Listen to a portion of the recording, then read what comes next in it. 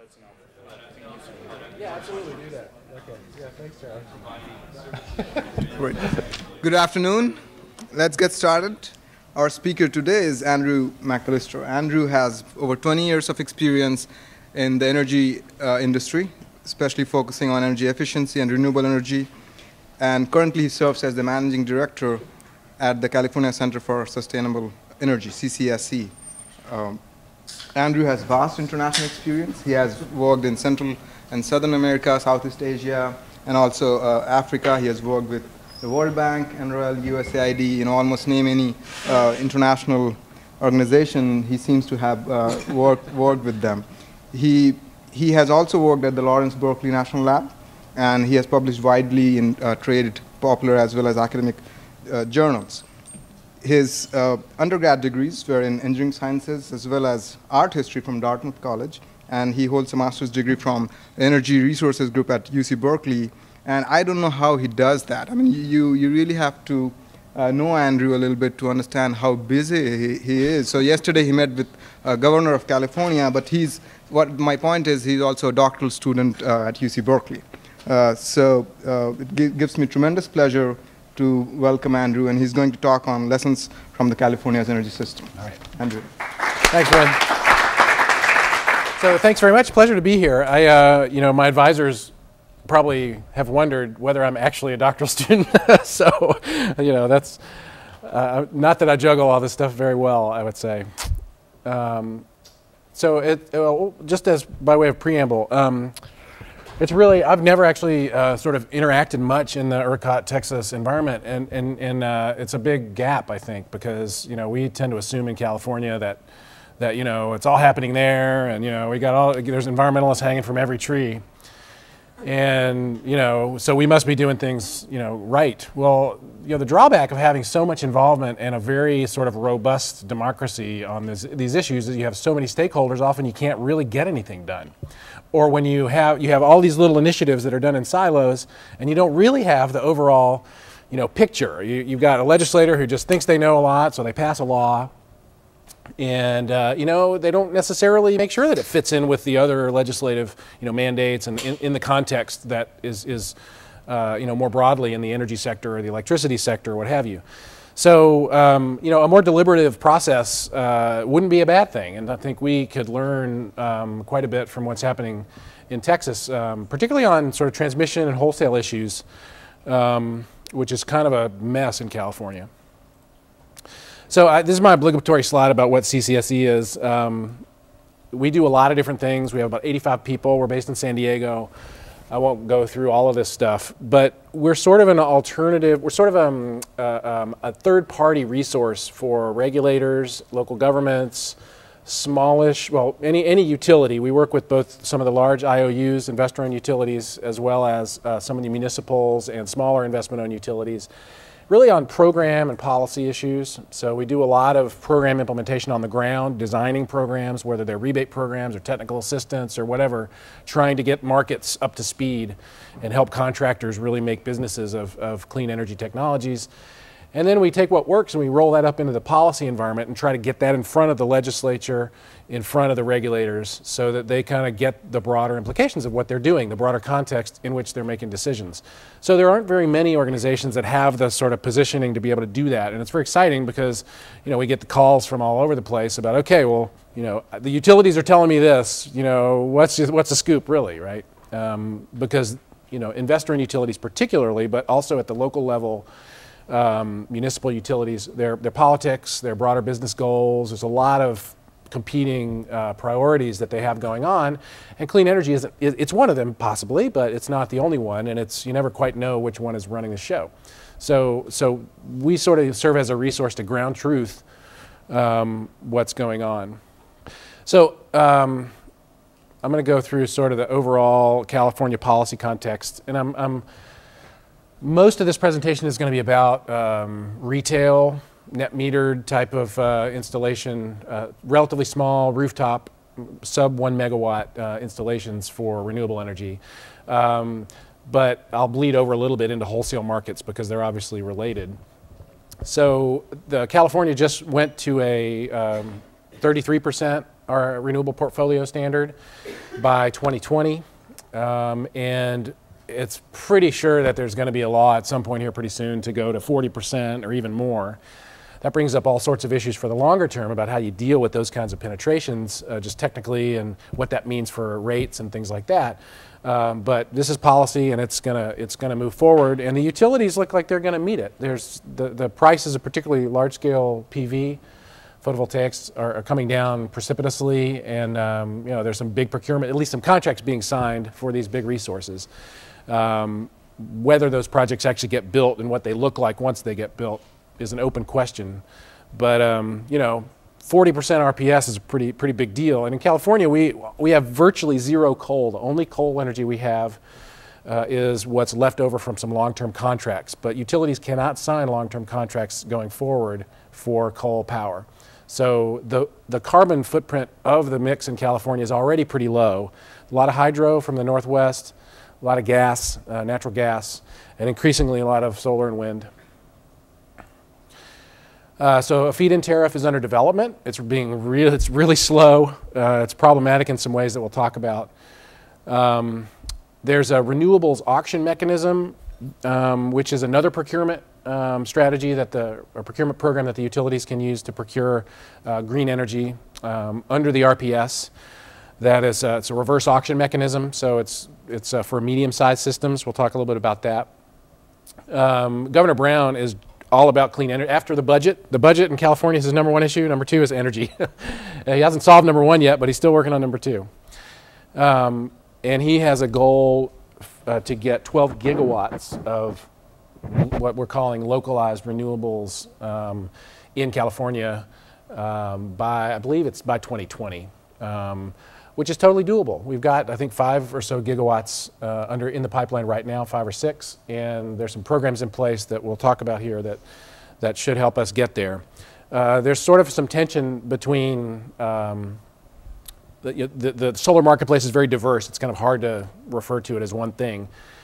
Um, but there are folks who make their living, you know, businesses that make their living installing small scale rooftop on homes and businesses all the way up to you know mega mega projects out in the California desert, you know inland, um, and even within the distributed generation marketplace, the larger projects, say one to five megawatts, are fundamentally different from the rooftop stuff.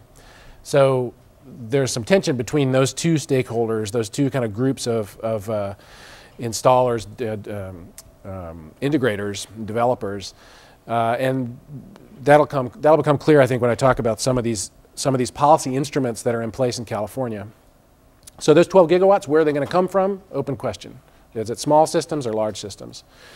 So we have a, a very, I was referring to at the beginning, we have a very robust um, regulatory um, ecosystem, let's say. Uh, anybody can have a voice. If all you have to do, uh, particularly at the Public Utilities Commission, you have to have a little bit of money to pay a lawyer to submit comments. You have to kind of pay attention. You can be on the service list, and you'll get all the stuff, and you can submit comments. And the PUC is obligated to read those comments and at least try to take them into account. Not that they have to. They, have, they don't have to do. If you're not informed and your comments are, are horrible, obviously not.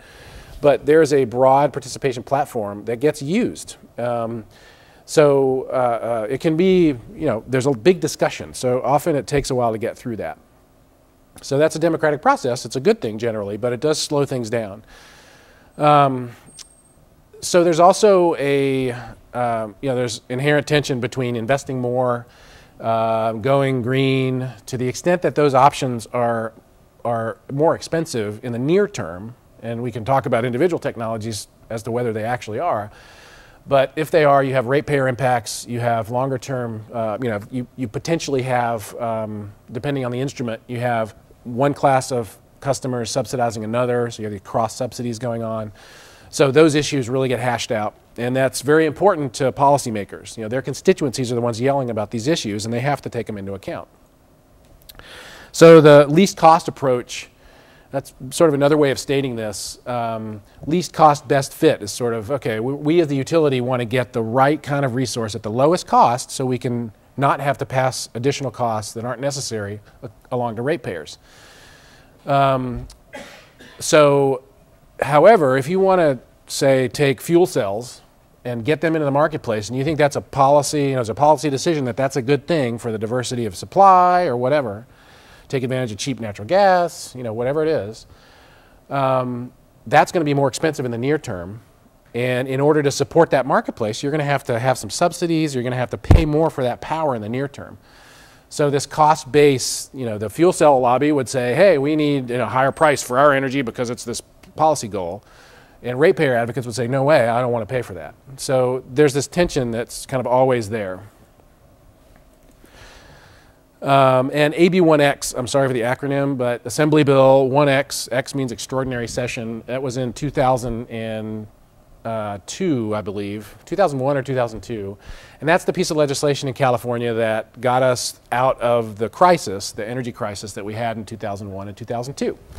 So ABX, AB1X um, did a lot of things, but one of the things that it did was uh, the deal that it brokered to save the investor and utilities from bankruptcy um, essentially fixed lower tier uh, energy prices, like the baseline for you know the, the, the, first energy you use, the essential energy, if you're a residential customer, the, the baseline energy, it fixed the price of that at roughly 12 cents.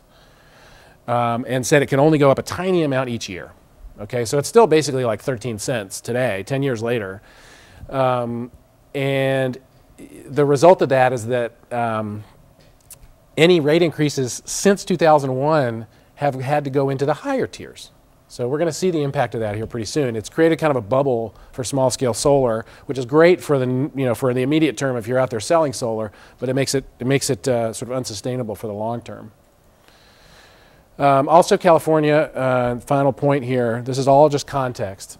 Um, energy efficiency is top of the loading order. It's the number one resource. It's, it's, uh, if a utility can get energy efficiency, uh, uh energy savings more cheaply than they can go out and get new renewables, they have, they, they're supposed to do that. So again, what that looks like in practice is maybe a little more complex, but energy efficiency is, a, is the top um, clean energy focus in California. So that's a map of San Diego. Each one of those yellow dots is a, is a small residential PV solar system. Uh, there's some solar water heating systems that hasn't caught on quite as much, but it's, it's increasing. You know, each one of these purple dots is a water heating system. Oh, I'm sorry, each one of the red dots. Um, maybe orange, probably look orange right here, yeah, sorry. Um, and, uh, but the vast majority are residential, but about two thirds of the capacity are actually the larger commercial systems. Uh, the, the green dots. Uh, yeah, the green and the uh, teal dots, uh, the, the, teal being uh, government systems. So those tend to be larger, more capacity. But there are over 10,000 rooftop solar systems in um, San Diego. It's the most solar city in the whole country. Um, well, definitely in California and by extension the whole country. Um, and um, it's about, uh, we passed, I believe, 100 megawatts not too long ago. So, so there's a good amount of, um, of solar in San Diego. It's a robust, professionalized marketplace for rooftop and small commercial systems. All these are net metered systems, so they're, they're interconnected on the customer side of the meter, not on the utility side of the meter. And you can see just the take, the, solar is just taken off. The, the bands there are the different programs. The first program was the Emerging Renewables Program, this covered solar. And then the Self-Generation Incentive Program and the California Solar Initiative is the program that's um, currently in place and has been since January 2007. Um, and there's a, there are a few other, there's some legacy systems and there's some other, other systems there that are not net metered that put us over, over 100 megawatts. Um, so the, San Diego is the top county here, but you can see Los Angeles, Santa Clara County, where San Jose is, uh, Orange County, Riverside, San Bernardino.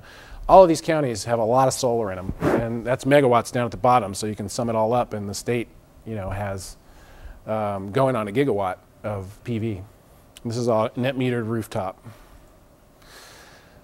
And we can see you know, one goal of the California Solar Initiative explicitly was to try to get prices down.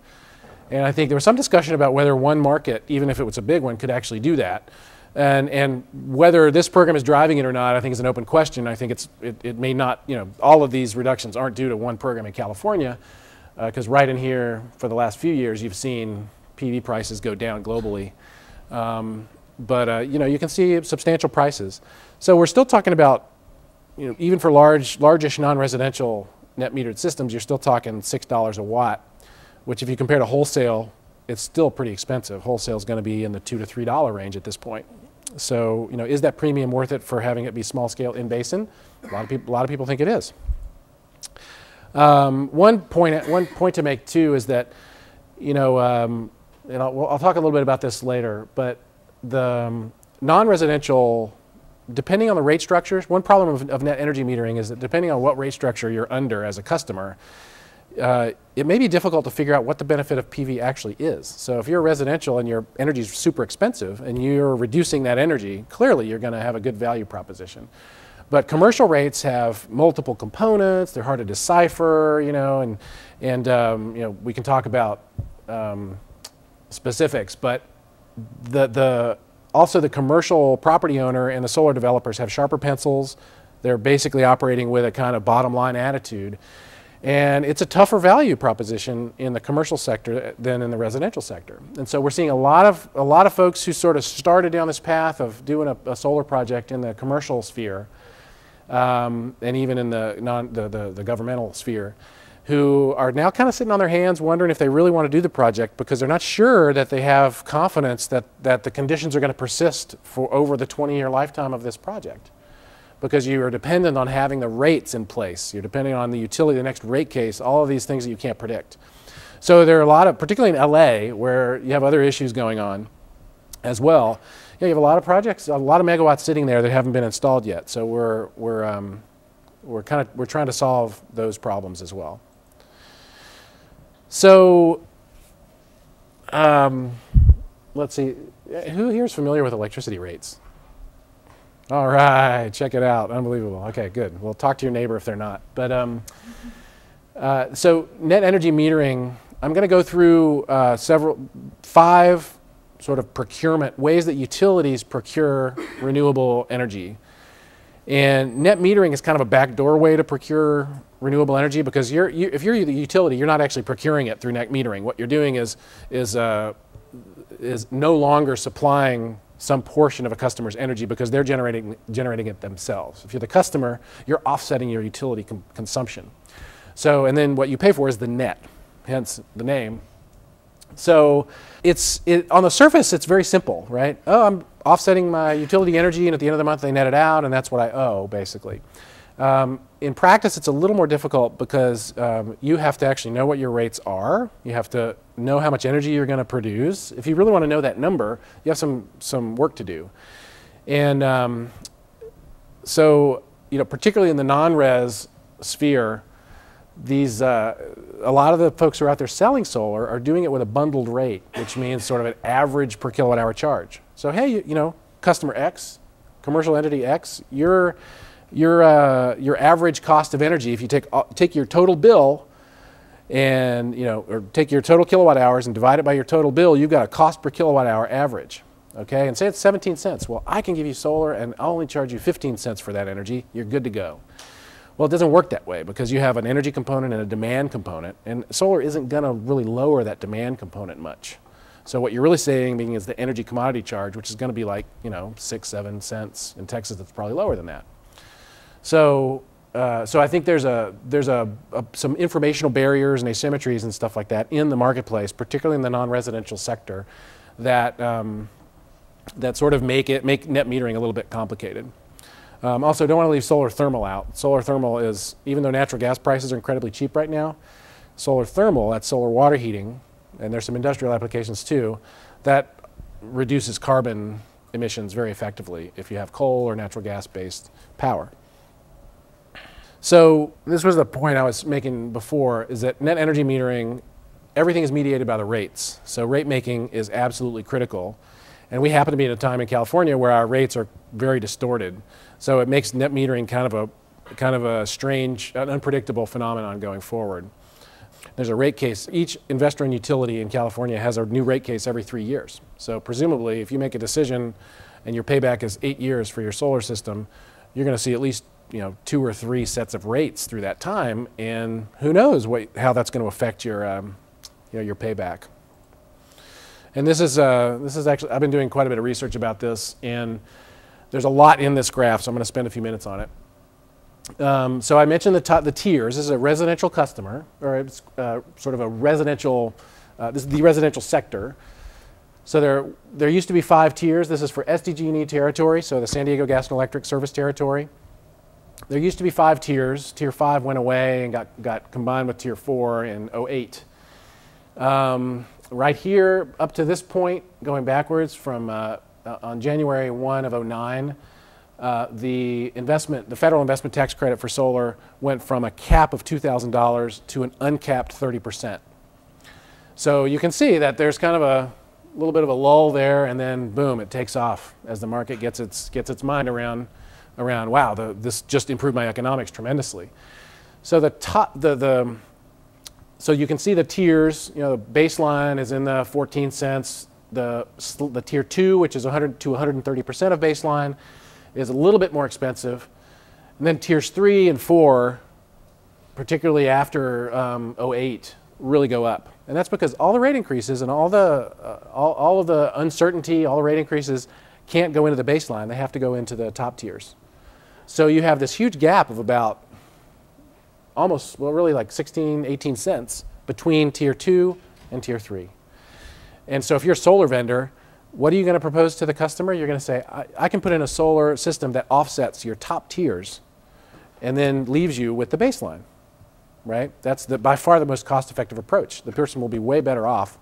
Um, their utility bill will go down tremendously, and, and their, their, the cost of solar generation isn't, isn't as high as what they're offsetting. So the top purple line is the full cost of, it's a 100 year, 100 uh, system moving average, full cost of solar system on a um, per kilowatt hour life cycle of energy basis. So the next one down includes the rebate. So in California, we have declining rebates. So it starts out at $2.50 a watt, and it ends at the end of uh, 2010 at about 30 cents a watt.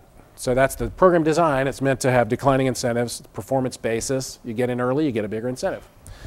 So you can see the moving average goes down precipitously when the ITC uh, the, the higher ITC kicks in, and you end up with uh, a cost, uh, life cycle cost of energy, the out of pocket of the customer at you know, roughly 15, 16 cents. So you're generating solar at 16 cents and you're offsetting 35 to 40 cents. So that is a value proposition, you know, extraordinaire, and has really been driving the expansion of the residential solar market in California. So what's going to happen is that when so it's an artifact of this legislation that I talked about. And so what's going to happen when we, when we outgrow that legislation, when the bonds that it generated sunset, or when another legislative initiative comes in to kind of get us past AB1X, we're going to have um, potentially a pretty traumatic event in the residential solar marketplace. So uh, that's kind of the what everybody's jockeying around in California right now. There are all sorts of bills about how we're, you know, how are we going to both deal with AB1X but not kill the small scale solar market. And it's a real concern. It's a topic of big discussion in California right now. And it, in fact, when I met with the governor yesterday, that's all he wanted to talk about. so, I mean, you'd think he'd have other things to talk about. so, so that's sort of net metering, which is where I spend a lot of my life. The feed-in tariff is the next one, sort of, and I'm going by, by scale. So the net metering is the smallest, sort of from one kilowatt up to a megawatt.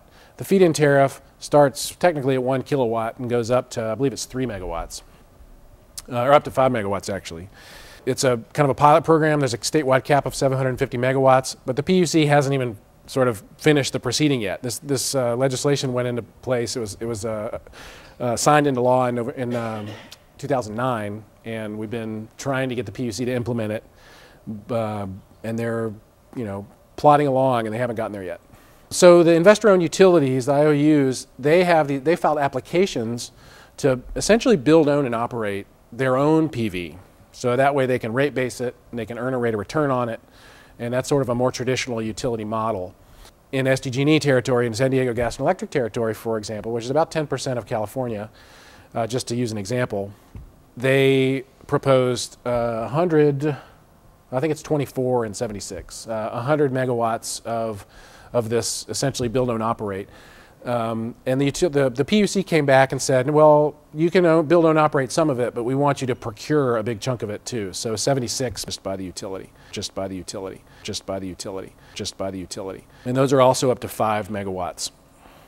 So the renewables auction mechanism is a relatively new instrument that's uh, a reverse auction. I think I talked about this a little bit before. Those are up to starting at, I believe, one megawatt, but going up to 20. And what we're seeing is the first round of bids for the RAM, this uh, renew renewables auction mechanism, have just come in. The prices are very low, and all the systems that they've accepted are essentially 20 megawatts. So you're getting largish, almost basically utility scale systems, and they're coming in apparently at, you know, seven, eight, nine cents a kilowatt hour. So that's cheap. And it's going to be difficult for a net metered you know, without the net metering support, it's going to be difficult for rooftop solar to compete with that price. It's going to be very difficult for the FIT uh, if, if, if, if the RAM price is used as the reference for the, for the FIT, then the FIT is not going to have any traction at all. That's the worry as well, is that if, if we've put all this blood, sweat, and tears into designing a feed-in tariff, which a lot of people think is really the next best thing, you know, the next, the next thing after net metering that's going to drive the small-scale solar market, but we're limited to a, a price that doesn't make it work, then it will have all been in vain. And then the largest systems, utility scale, out in the desert, uh, you know, far inland in California, they require transmission to get into the into the um, population centers. Those are the sort of RPS standard utility scale request for offers, where those are 20 megs and up, and you know, big area. When you're driving on the freeway past them, you're going to spend a while to go through one of them.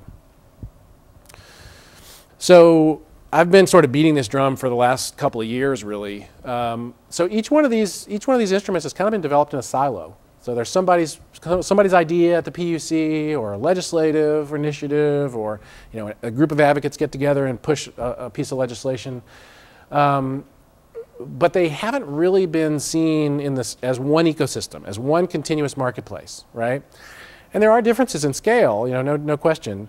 But there's been really, I think, a dearth of coordination between these instruments so that they can work together and so the marketplace knows what the heck to do. So you, if, you're a, if you're a developer, like, okay, what am I going to do in this place versus that place? You have no idea. Or what you're going to get paid for a given size system if it's eligible for three or four different programs, right? So, so that's the kind of you know program soup we get in California that I think we could do better at, at, at uh, putting in place. We could study things a little bit more, but you know, and then and then sort of make the, the strategic decisions a little more effectively. So this is my uh, sort of you know grade school attempt to to graph these different mechanisms. Okay, so. Uh, uh, try to give you a visceral sense of how they might fit together or what some of the issues are. So we have a lot of uncertainty um, about price, and we, we have some lack of transparency. So the, the green box, well, so the blue box is net energy metering, and this is one kilowatt, one kilowatt capacity, right? So 0.001 megawatts. This is 100 kilowatts, this is a megawatt, so on up to 20 and, and, and plus. You know, the, the, the price, the implicit price for all of these mechanisms varies. So if you're offsetting top tier energy with net metering, you're going to be way up in the top left of that blue box. If you're a baseline customer and you're still choosing to go solar, you might be a little bit down here in, in, in a lower cost of energy. The, all of these instruments I'm talking about sort of fit together like, like in, in a continuum, but I'll talk a little bit about where this is really idealized. It's actually not like this at all. the, the transparency of a box reflects the program transparency. So you can see the, I've lumped the utility applications and the renewables auction mechanism together. They probably are going to be together actually in practice. Um, to eliminate one of those programs and just put them all in the RAM. But uh, the public, the, the, the prices that are determined by these contracts are not public. Nobody will know them, right? So if you bid into the RAM and a utility, you get a contract, um, there's no obligation that the utility or the PUC or anybody make the, the terms of that contract public. So from my perspective, that's a problem because it doesn't give a reference point to the rest of the market about what is actually out there working. Um, you can see from the IP perspective that you might, you know, the, the, the, company might not want to tell the world, you know, what it what its price is or what it was able to negotiate or whatever. But uh, if you know, if you're an advocate and you kind of want to sort of push this discussion forward, it makes it harder to do that if you don't know the details. So the floors here are uncertain, and if you're a technology vendor or a, you know, let's we could talk about any technology, you know, any any eligible RPS technology, you know, you can uh, you can imagine, okay, well, if I don't even know what the minimum price I'm going to get is, then it makes it hard for me to, to develop my business, right? Because it makes it hard for me to write a business model. And so there's a lot of uncertainty about but the fit, the RAM, and the RFOs as well, because that information isn't public. Um, so I'm going to do a, a, revamp, sort of a modernized version of that idealized graph here in a second. Um, but there's a lot going on. So there, uh, there was a Treasury grant program that floated a lot of the upfront cost for non for larger net metered systems that went away. The 1603 grant program that was stimulus funded, and now it's gone. Um, state incentives are going down in California. They're they're very low now. Uh, it sounds like Austin Energy still has uh, quite some strong incentives for PV, which is great. Um, the net metering has a cap. So the net metering cap is 5% of peak demand of each utility service territory. So, you know, say for example, SDG&E's peak demand is 5,000, so that means, you know, 5,000 megawatts.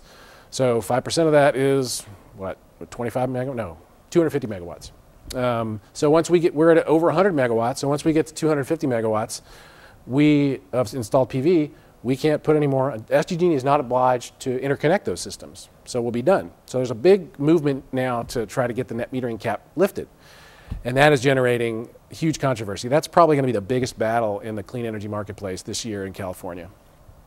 And there are a lot of, a lot of different, um, a lot of different opinions about that one. So the federal investment tax credit. I mean, uh, you know, luckily the super committee in, in, Congress never got its act together. But if it had, that would have been a target. And and you can imagine. Um, you can imagine a, a different political environment where the federal ITC was a target because you know we're not about uh, tax breaks for specific technologies, and um, so that could be a threat. And as you saw in that previous graph, that tax credit enables solar. You know that gap between the full cost and the cost with the tax credit. So the the feed-in tariff. So these the to your point, the the feed-in tariff here.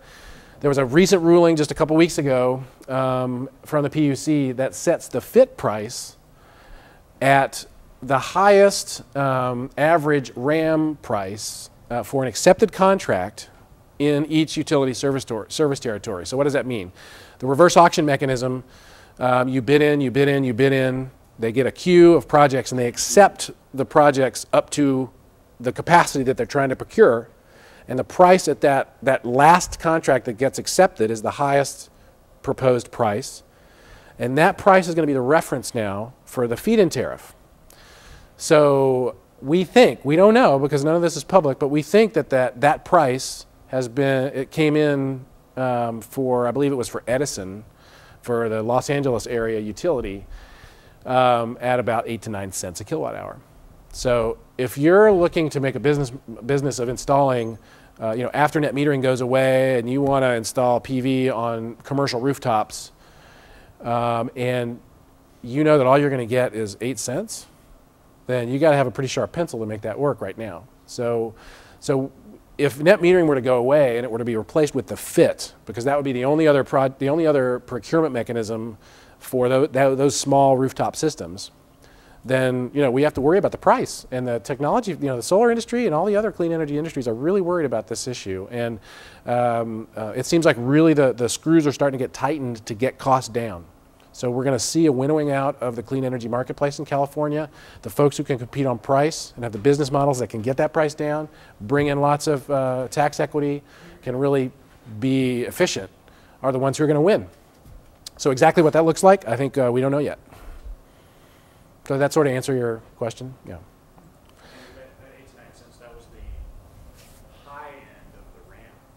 Yeah, exactly. But we don't know what the low end was, right? I mean, they might have all come in at that, or they might be at a four cent guy down there. Don't, we don't know. We, and, and, you know, we may never know. so, uh, and we don't even know that number actually. That's just scuttlebutt. You know, like the lobbyists in Sacramento. I, I, I don't know, right? Um, you know, there's a, I think the medium scale marketplace is definitely evolving uh, quickly as there's uh, as as those mechanisms, the RAM you know, up to 20 megawatts um, gets as that as that marketplace gets going, um, you are seeing a lot of investment into those those medium distributed scale systems. You know, in a utility parlance, you know, 20 megawatts is small. right? You have to have hundreds of megawatts really to be like a, an actual, you know, real power plant, right? That's the, the, electrical engineer sort of view of the world. Um, and, and, you can do up to 20 megawatts or so, like in basin, you know, in open areas within populated areas. You know, you can definitely do five, you know, three, four, five megawatts in those areas. So those have the advantage where you can put them, some, you can embed them within the distribution system without building big transmission lines, which is, uh, you know, obviously a value. So, but all of these issues um, have been problematic in getting uh, RPS or renewable portfolio standard projects developed. Uh, you know, clearly finance. I mean, luckily we're coming out of the back end of the financing uh, bottleneck, but that's been huge. There hasn't been capital available. Site control is always an issue. All the levels of permitting have been a huge problem, and we're starting to work through the the larger scale jurisdictional stuff like the federal and I mean, Charlie, you probably you probably worked on that in your day. But uh, but the the state is better than it was. Uh, but you know, we have not only uh, NEPA, but we have we have uh, CEQA. Um, that uh, you know the environmental issues that you have to work through. Then you have county and you have county, and then you have even local jurisdictions that have a say in whether a project gets permitted. And so you have all these stakeholders weighing into that process that is definitely acrimonious. So um, interconnection requirements are variable. Some utilities are really hard to get an interconnection study and get, the, get a system uh, interconnected. And it takes literally years. So if you're a developer and you've got all this capital sitting there, you've got a bunch of investors that are waiting to, to you know, get the system installed, they want to start seeing some revenue, makes it very difficult if, if your utility won't interconnect or won't even do the study to interconnect and won't give you a yay or nay, right? It's, it makes it hard. Um, so yeah, equipment supply and, procurement is definitely less of a problem now than it was.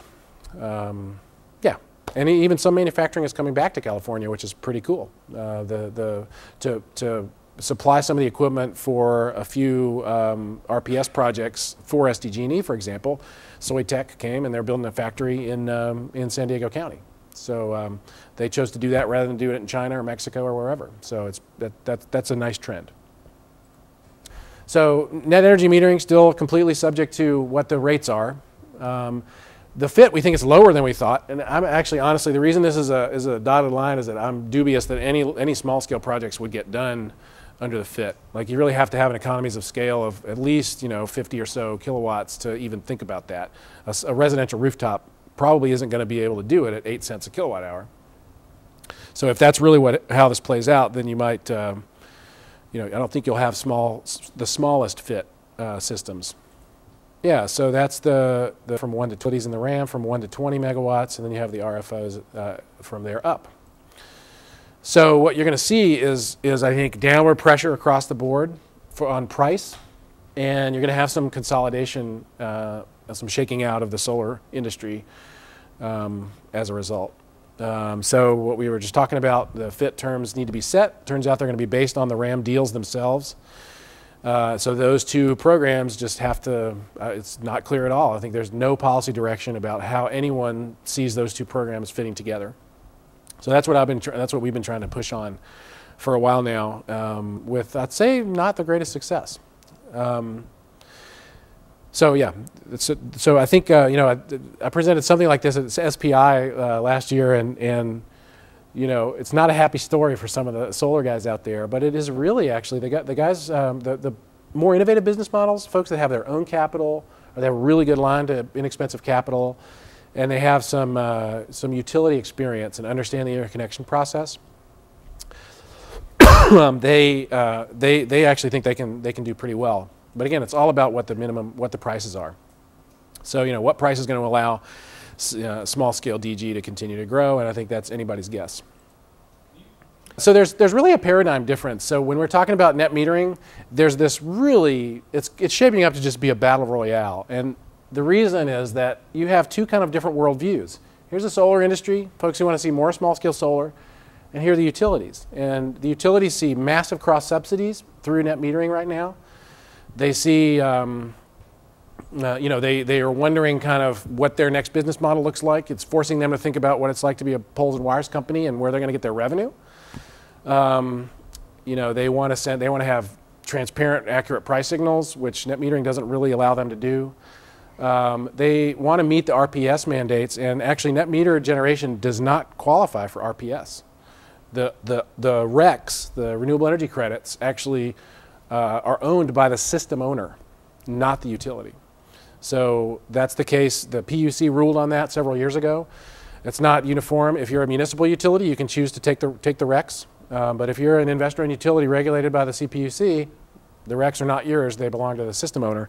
So if you're a utility and you're supposed to be procuring renewable energy and you don't even get the RPS from, from net metering, you don't even get that credit, then why would you even want to promote this at all, right? So, so they're just different worldviews, and I think um, the gap is pretty large. And so something's got to give on both sides, and we're going to end up somewhere in the middle yeah, interesting stuff happening on finance. Um, these third-party ownership and hybrid financing models are taking off. Uh, last month, about 80%, 75 to 80% of our um, residential uh, solar systems in, in the San Diego region went in under a lease or a PPA model. So that's a third-party owner where you sign a contract and you just pay monthly to them instead of the utility. Uh, but given, you know, there's a clear value proposition for that to happen because given how expensive that top-tier energy is. Um, there's some, some property assessed finance developments that are, that are positive. So I wanted to talk a little bit uh, about transportation. I'm going to whip through this um, because it came up a lot today, so I thought I'd actually put some uh, at the electricity conference we, we, we were at today. And yesterday, um, there was a lot of talk about um, electric vehicles and even their use for ancillary services as a grid benefit and this sort of thing. And San Diego is the number one, uh, the place, the, the, most, with the most deployment in the whole country of, um, of plug-in electric vehicles. Um, California's got a, actually over 10, I think over, right around 10,000 now. A whole new flock of them came in. And about 1,500 of those are in San Diego County. Yeah, so if you'll look at the, these are the concentrations of plug-in electrics. So it's LA, San Diego, and, and the Bay Area. And they are the three, um, you know, by zip code and with some more detail there. So you can see that it's fairly locational. You have, you have people, we've done some survey information already on these folks. We run the rebate program that gives adopters of, um, of uh, plug-in electrics their state incentive. There's a $1,500 to $3,000 incentive for these cars. And that's the Chevy Volt, and the Nissan Leaf, you know, a few others.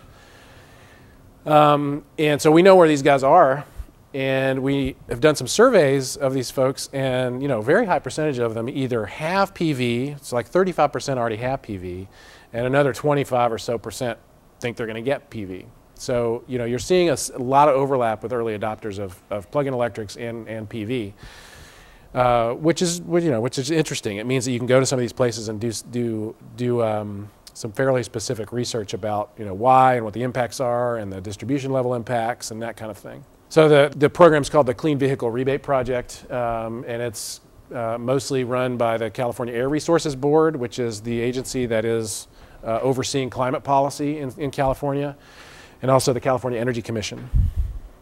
Yeah, so there's a whole there are a whole bunch of um, rebate or there's a whole bunch of um, EV infrastructure projects and, and, incentives available, and California has really made uh, a priority of this, um, particularly in northern the Bay Area and in LA and San Diego. So uh, another thing that happened actually, so again, the, the electricity, we live with the electricity crisis of 10 years ago every day in California. It really, it's kind of getting old. Um, but one of the things that, uh, that happened there was that Dynegy was one of the, the you know, Enron-like companies that really manipulated the marketplace and ended up costing a lot of people money. And they've been in litigation ever since and finally came to a settlement with the Public Utilities Commission about how much they were going to pay for all their shenanigans in 2001 and 2. So uh, since then, NRG Energy um, procured Dynegy and now took on those liabilities, and all, everybody wanted it off their books. So just a couple weeks ago, they announced um, a deal that was brokered by the governor's office to have NRG give $120 million back. And $100 million of that is going to go to EV charging infrastructure across the state. Um, so, so that's about five times the existing level of, of, of incentive investment and, and is going to plug right into the policy process and really jumpstart uh, deployment of EV charging infrastructure. Um, so lots of programs in California for clean air and, and low emissions vehicles. Um, the Department of Energy also and the Energy Commission have um, EV readiness uh, projects going that are really helping local and regional governments plan for EV deployment. So where do you put the chargers? Um, you know, are they level one, level two, level three chargers? A lot of infrastructure questions, a lot of jurisdictional and agency questions. Um, so at, at the local and regional level, these discussions just have to happen or it's just going to be a huge problem. So these readiness projects cover, you know, the major population centers in the state. Um, yeah, so roughly the same. Um, so, and then last, uh, this is the last slide. Uh, we're probably a little over time here, but you know, again, exists. So, it's not just about DG. I've talked mostly about procurement of clean energy and generation and, uh, at the various scales, but uh, California's top priority is energy efficiency, and we have actually a goal to retrofit every existing building older than a certain age by 2020. I mean, you know, think how hard it is just to get people to, I mean, you know, insulate their homes or work on their HVAC system or whatever. Like, really, you know, having policy push that hard is a, is a, is a huge lift. And people have to want to do it. You know, we had a lot of discussions this morning about behavior and why people make decisions, and they have, it has to bring a, a whole bunch of benefits to somebody in order for them to let a contractor come in their home and get their carpets dirty and, you know, cost them a bunch of money and then apply for a rebate and, you know, all of that stuff. It's not a it's not a simple thing, and most people have lives and they don't have time to be home. They have to take off work, you know. So it's a, it's a difficult commodity to sell this retrofit, this home upgrade business. Um, but yet there's a lot of benefit to it, and it's not just energy; it's all sorts of benefits. So uh, that's where policy in California is going, and what you know what I'm trying to push for, and a lot of similarly minded people are is trying to get the small scale distributed generation and the, the energy efficiency sides of the house to talk together so that you can have coherent policy that's easy and streamlined and sort of doesn't put up unnecessary barriers. Um, financing is a big part of that as well. There's got to be accessible financing that you can ag agree to across the kitchen table. You know, so maybe you can do that with solar, but maybe you can also do that with replacing some of your windows and your HVAC system and, uh, you know, uh, windows or whatever, you know, insulation, whatever else. So so there, there, there, are a lot of ways you can improve your energy uh, profile, and generation is one, but there's a lot of other ones. So that's it. I hope uh, we have some time for questions.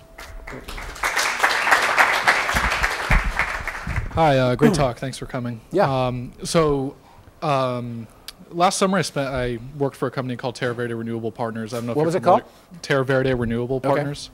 Um, and what they do is they run an RFP process for commercial scale solar, largely with schools, mm-hmm. allows for public financing, and the way the net metering works. Yeah. Um, we take advantage of their load profiles mm-hmm. and switch them to the A6 rates. Yeah. And where know, this is here in Texas. This is in or? Marin County. Oh, Marin County. Okay, the A6. Yeah. So PG&E. Um, yeah. So oh, you're part of the authority. Huh? Are they customers of the authority, or are they customer like the the Marin Clean Energy Authority? Oh, uh, I'm not sure. Okay. Um, Marin County has this great community choice aggregation program going. I'm so, sure anyway. they're, Yeah, sorry, go ahead. Well, um, so my question is, um, the way that those deals would work is they would take advantage of the difference between the on-peak and the off-peak pricing. Yeah. Um, but you're saying that that might go away, but there's also the RPS, you know, to contend with. So I guess my question for yep. you is, do you see that market going away, of being able to play off that differential, and um, and build these commercial scale plants? Um, so we do a lot of work with schools, and the rate structures are they're not the same exactly, but they're roughly equivalent in the three big investor-owned utilities. So we you know we mostly work in schools and SDG&E territory, but uh, you know this blended rate issue deal is really a big deal, and so you know one you have to really get a handle on the rates going forward, and a lot you know. So I, am not sure about the A6, uh, the terms of it, but the equivalent rate in SDG&E is that you can't go on that new sort of solar-friendly rate unless you have a system of a certain size. Otherwise, you're stuck with the old rate, right? Yeah, these would typically yeah. be, be, between about 50 kilowatts and 2 megawatts. Okay. And the A6 rate eliminates your demand charge. Yeah, you exactly. Go down about okay. 200 bucks a month. And, yeah, uh, so and so, you pay 40 cents on peak, but you're not paying it because the solar system's producing. So. Yeah, exactly. So, so the the issue here is that if, if, if you are all, if your whole cost is a variable cost, so you're paying energy charge only and you have no demand charge, then that's a sweet deal, and you should go for it, right? Uh, PG&E hates that because they are leaving money there. It's really uh, that's great revenue for them to have, and they're losing it because it's all being offset. And not only is the is the energy charge what they go out and buy, energy for, not only are they losing that, but they're also losing the cost of the of the hard the fixed costs to have the grid come up to the door of that school. So from their perspective, they're, they're, all their other customers are having to subsidize the infrastructure that's, that's providing basic service to that school. So, you know, I, I'm, I'm, I'm sort of mimicking them, like that's their argument. There are, there are arguments against that. But, but that is why all, all of the large uh, investor-owned utilities in California are trying to, to sort of modify net metering so that it's less impactful. So I can't tell you, you know, I don't have a crystal ball and like what that's going to come to, I can't say. But for sure, PG&E have a piece of legislation. They have a piece of legislation in front of uh, uh, the legislature now in California that would that would that would uh, basically require all solar well, all customers to pay at least part of their bill on, as a fixed charge, and and so that they they wouldn't be in this pickle of having it all be variable and therefore offsettable by solar. Because you know if, if nighttime comes you still need the grid at your door right? You, or you got to put in storage you've got to make big investments if you're really going to disown the grid. So the utility has still, even though you don't have any net consumption, the utility has still made investments on your behalf that, that are infrastructure that's there. And so that, those costs need to be covered somehow transparently and you know, hopefully equitably. And that's really the discussion that's going on with net metering right now. So hopefully that answer your question. Yeah. yeah.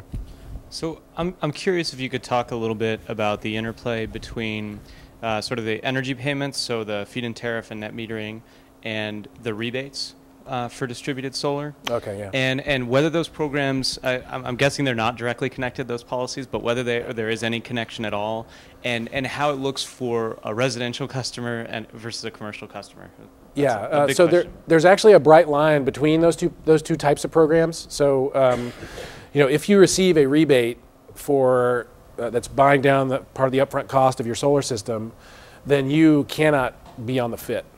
Okay. Um, they are they are absolutely opposed, and if you if you go on a fit, you don't get a rebate. So um, you know. They're, they're, they are two completely different procurement Is it mechanisms. the same for the net energy metering as well? Yeah, so the, the, the rebate programs are strictly net energy metering. So, um, so you really, if you're, let's, let's say, you know, a year or two from now, you have FIT, you have the feed-in tariff in full effect, and you still have some net metering then when you as a homeowner or business owner decide to get a solar system, you have a hard choice to make, which is I do see. I go fit or do I go net metering? And, and, and that's really the choice. And then if there are rebates available for net metering, then you would get one. But, but that's the choice between the two. There's no overlap. Yeah. Oh, sorry.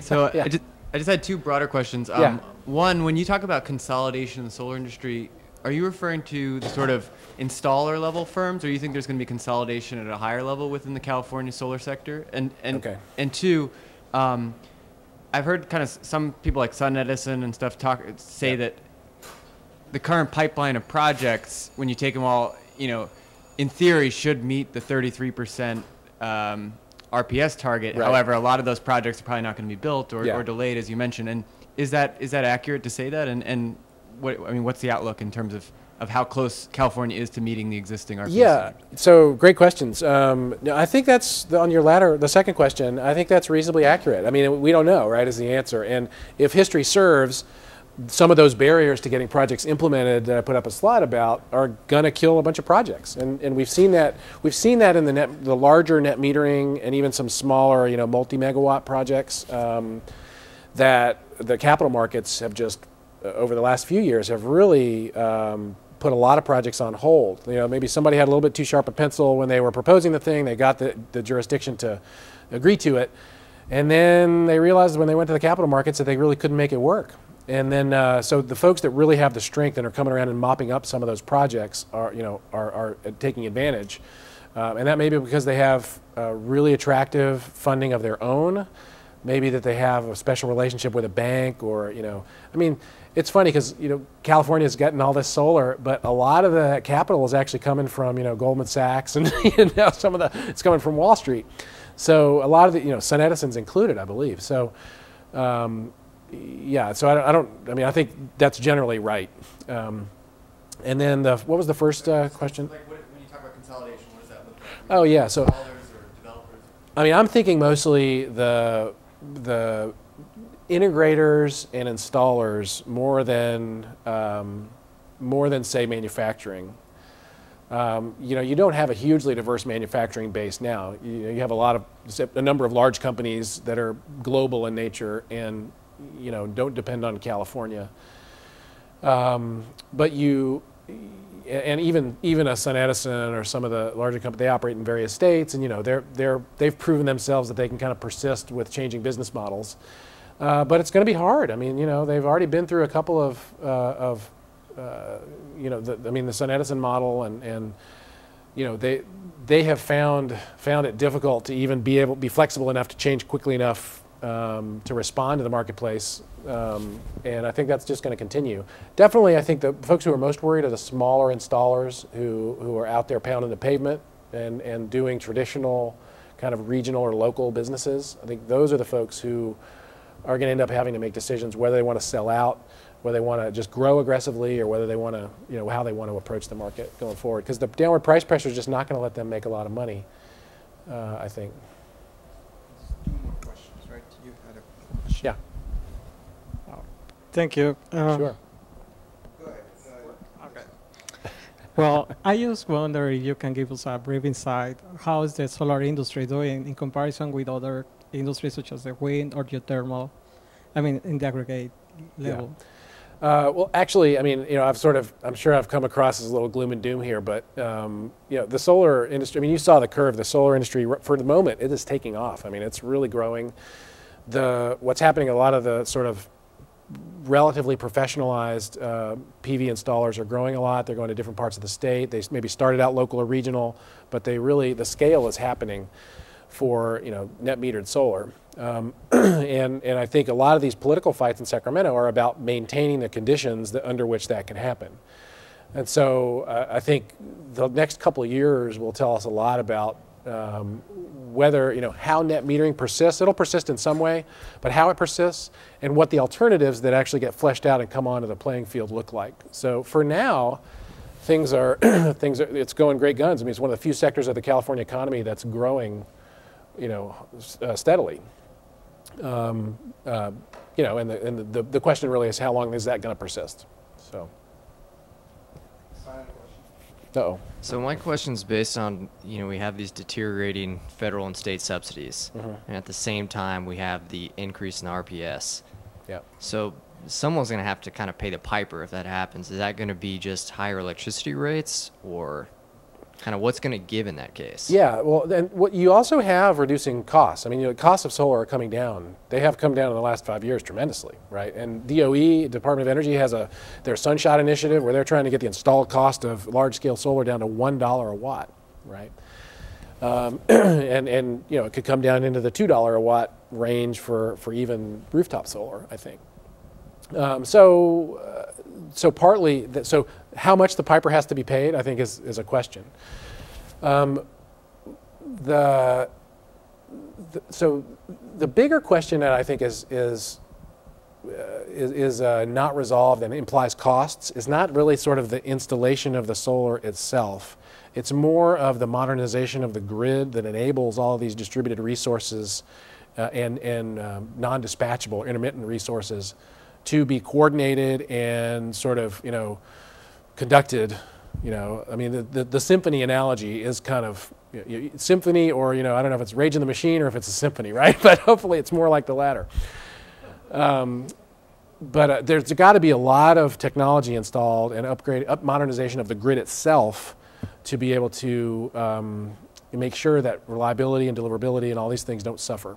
Um, and that'll be a locational exercise. Um, it'll be a pretty heavy duty planning exercise that requires the development of a lot of tools. And so uh, that implies cost. And I think this new grid, um, it's unlikely, the way I think about it, and this is, this is, I know I'm rambling a little bit here, but the way I think about it is that what we really want from electricity is the service that it provides. So if we can have lighting for a quarter of the electricity using, you know, an LED lamp versus an incandescent, then we may actually pay a similar amount for that hour of lighting, but we'll do it with a quarter of the electricity. So if you look at that from a per kilowatt hour cost charge, then yeah, it's more expensive. But, but you know, we need to sort of structure things such that the, the underlying service is, you know, we may actually pay more per unit over the long term, but there are complementary investments in energy efficiency and kind of other ways to do demand response and things like that that will enable us to have the services we need, um, you know, and hopefully not have a bigger net out of pocket. So, I mean, I know it's a, I don't have a great answer for you, but I, I agree. You know, there's a lot of worry about there's a lot of worry about, from ratepayer advocates about yeah, you know, what are what are my you know what are my my you know poor families going to do when the same amount of electricity all of a sudden costs twice, and they don't have the money to upgrade their house or whatever, and that's an equity issue. That's a real issue. So I don't you know nobody has the, the right answer to that I think, but it's definitely a problem. So Thanks so much. sure.